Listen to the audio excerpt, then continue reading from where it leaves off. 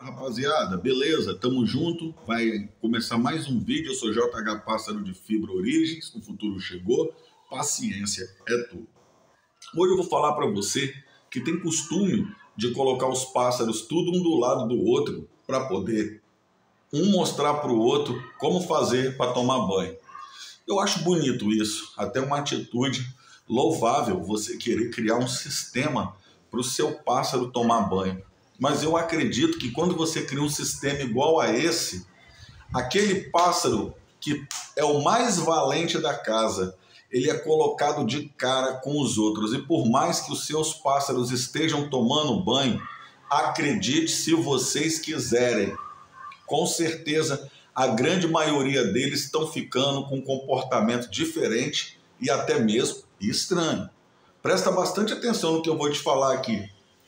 Quando um trinca-ferro ele não pula de vez aqui dentro, geralmente ele vai posar, ele experimenta a água e ele volta lá para o puleiro. Tem uns que só posa, nem experimenta a água e se bate e volta lá para o puleiro. Você viu que entre esses dois pássaros que eu falei aqui tem uma diferença. Tem aquele que posou, experimentou a água e voltou para o puleiro. Tem aquele que nem experimentou, se bateu e subiu para o puleiro. Entre esses dois pássaros tem uma diferença. É sobre isso que eu quero falar com vocês, sobre essa diferença. Quando eu coloco um coleiro, quando eu coloco um curió, quando eu coloco um azulão, eu estou forçando a esses pássaros ter que aceitar essa condição. Eles não vão dizer para mim que eles não gostam disso, mesmo eu sabendo que eles não gostam. Parte 2. Você que está fazendo isso pode estar tá até dando certo, mas pela quantidade de pássaros que você tem, o comportamento de todos nem sempre são iguais. Vai ter um que vai até tomar banho, mas vai ter outro que não vão tomar banho. Eu sei porque eu já fiz isso, eu tenho experiência. É aí que entra a parte 3. É, esse vídeo vai ser por partes. É quando o cara toma posse de um borrifador, põe as gaiolas tudo retinha e começa a borrifar os pássaros. Bom, até aí os pássaros vão tomar banho, mas se você não tiver com uma banheira dentro da gaiola cheia de água, e se você não se afastar, eles não vão tomar banho, eles nunca vão aprender a tomar banho. E você vai ter que fazer isso por várias e várias vezes. Tá certo, você não se importa. Eu sei que você está falando aí, eu não me importo. Mas deixa eu te falar uma coisa: o que muitas vezes deu certo para você não vai dar certo para todo mundo. Quando é trinca-ferro, quando é azulão, curió, quando é coleiro, não se bota tudo junto, de frente para o outro, porque são pássaros de fibra. Parte 3. É isso mesmo. Pássaros de fibra não fica se encarando. E nessa parte 3, eu quero citar aqui uma coisa que é muito importante, que é, sabe o quê? Essa conexão que os pássaros têm entre si.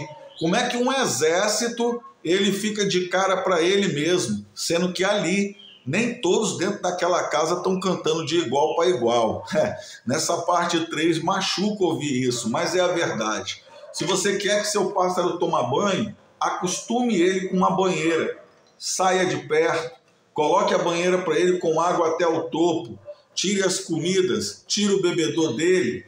Deixe ele pelo menos por meia hora, todos os dias. Não vai ser fácil no começo, mas eu não estou dizendo para você que vai ser impossível. E você ainda vai ter um grau de superioridade que vai ter ensinado ele a tomar banho na banheira. Na parte 5, que é muito importante desse vídeo, eu quero dizer para você o seguinte: conheci várias pessoas que colocavam as gaiolas no quintal, tudo ao mesmo tempo. Pegava a mangueira, ligava e jogava água por cima das gaiolas. E aí eu te falo, era apodrecimento de gaiola, enferrujamento de gaiola, os puleiros do bicho ficava todo molhado, a gaiola ficava toda encharcada. Geralmente os pássaros ficam nessa situação de penúria e muita gente faz isso ainda. Você acredita? Por falta de tempo, porque tem muito pássaro e se for para poder tentar dar banho de banheiro em todos eles, não consegue. Bom, isso vocês podem começar a observar nos vídeos que vocês vão ver daqui para frente. As pessoas, quando elas têm muitos pássaros, elas não tendo tempo de cuidar de um por um, de um por um, elas pegam uma mangueira, liga e dá banho em tudo. Mas aí molha a gaiola, aí geralmente a gaiola fica toda encharcada, o fundo da gaiola não tão limpo, não tão limpo, ele vai meter uma mangueira ali para tentar tirar o máximo, mas não vai ficar limpo tá? Não vai ficar limpo de jeito nenhum, porque precisa de, sem dúvida, uma escovinha, um sabão, uma água corrente para isso acontecer. Ponto 6. Se você quer que seu trinca-ferro tome banho, não use mais o borrifador. Sabe por quê? Quem usa borrifador está com tempo para fazer isso. Já pensou você ter que ficar a vida toda no seu trinca-ferro para ele tomar banho? Cara, ninguém quer esse castigo, não.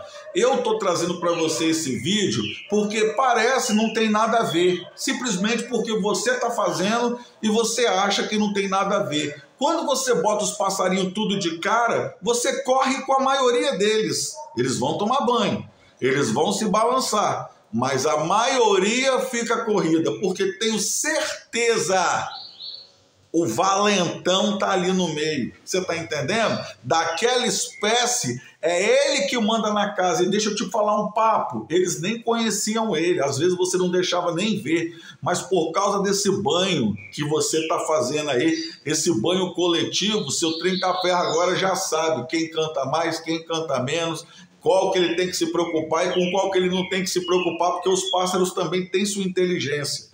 Então deixa eu te explicar uma coisa para você. Você tem que doutrinar seu trinca-ferro a tomar banho. Todos os dias, limpa a gaiola, tira as frutas, tira a ração, tira o bebedouro e deixa só a banheira para ele por meia hora. E sai de perto dele. Vai fazer suas coisas. Vai fazer suas coisas. Nesse ponto 6, eu vou falar para você como é importante. Às vezes o cara está querendo fazer o trinca-ferro cantar e está botando o trinca-ferro na entrada da porta da casa dele. Como que esse pássaro vai começar a tomar banho? O banho, como são as primeiras vezes, o trinca-ferro está tímido. Ah, mas eu coloco um do lado do outro, um toma banho, o outro toma banho também. Nem sempre. Deu certo para você. Mas eu quero ver se vai dar certo para um cara que pegou o trinca-ferro ontem e hoje ele está se batendo no fundo da gaiola. Eu quero ver se eu botar outros do lado dele, ele vai tomar banho. Não vai. Você sabe por que ele não vai tomar banho? porque ele não sabe o que é isso aqui, parceiro. Lá na natureza onde você pegou ele, da onde você tirou ele, não existia isso aqui. Existia era uma poça de água, um rio, um riacho, uma cachoeira. Isso aqui existia. Aí a rapaziada, nesse ponto 6 ainda, tema, porque a maioria toma banho. Mas quando a grande maioria não toma banho, a pessoa vai lá com um borrifador, Tá com tempo, né? Malandrão, tá com tempo, né? A gente tem que parar com isso. A gente tem que educar o pássaro a tomar banho. A gente tem que parar de ficar dando tenebro no bico do trincafé, porque a gente não tem tempo para isso. A gente tem que parar de borrifar o passarinho, que o passarinho ele toma banho sozinho. Ah, mas o meu não toma banho. Ele não toma banho porque você não está sabendo educar ele. Se muitos falam para mim, JH, o trinca-ferro é igual um filho. Então, cara, se você fala para mim que esse seu filho não toma banho, é para mim que você não está sabendo educar ele. Já pensou você falando pro trinca-ferro? Acorda, Pedrinho, vamos tomar um banhaço, vamos, a Pedrinho, antes que fique escuraço. Não, não é assim não, cidadão. Tira o bebedor, tira a comida, bota a banheira e deixa ele no local afastado tira o bebedor, tira a comida, tira tudo que tiver dentro que possa distrair ele e bota ele para tomar banho com a banheira cheia até a boca. No princípio vai ser difícil. Toda meia hora que você fizer isso, pode ser que ele não pule na banheira nenhuma vez. Mas se você ficar vigiando, talvez isso não aconteça. Agora, se você não ficar vigiando, deixa eu te falar uma coisa para você. Se você não estiver vigiando, você pode pegar e ver seu trenca-ferro tomando banho na hora. Outra coisa, tem muito trinca-ferro que ele não toma banho, por quê? Geralmente esse trinca-ferro está com laranja, maçã, Ele está com tanta coisa que distrai ele dentro da gaiola que geralmente ele não está nem aí para a água do banho. Ele quer comer maçã, quer comer laranja, ele quer comer o um pedaço de, de pimentão que você colocou. Banho é todos os dias. O trinca-ferro que toma banho, ele toma banho todos os dias. Então, cara, se você fica aí botando trinca-ferro um do lado do outro, ou você arrumou um montão de passarinho, não tem tempo para cuidar e começou a dar banho de banheira neles tudo, de mangueira, né? Se você fica com um borrifador o dia inteiro, ah, eu faço isso, não tem nada a ver. Eu não quero saber o que você pensa, o que você acha. Tá? Não quero saber, porque eu não me meto nos seus problemas. Agora eu vou dizer para você, se você acha que eu discordo ou concordo, tem minha opinião própria, dá para ver pela minha cara. Agora, cara, bota banheira para todo mundo, que nem sempre não é por causa que você não viu o passarinho tomar banho, não. É porque a maioria não tem banheira para o passarinho. A maioria é uma banheira para todos. A maioria só tem uma banheira para todos. Você está entendendo?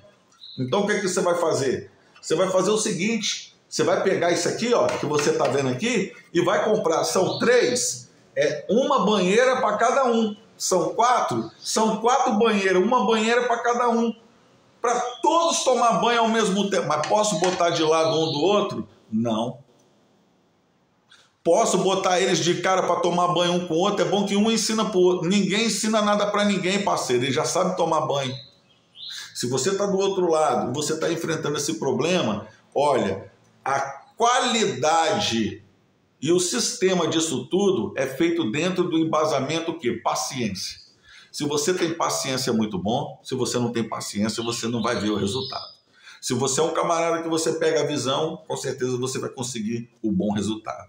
Agora, se você quer saber por que, que seus trencaféus estão ruins e estão acabando e estão ficando cada vez pior de um ano para o outro, talvez seja isso. Você está colocando todos eles para se ver e aí na hora de tomar o banho, você já viu como é que é, né? Aproveita um para correr do outro.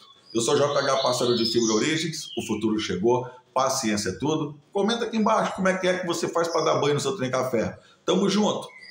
Paciência é tudo.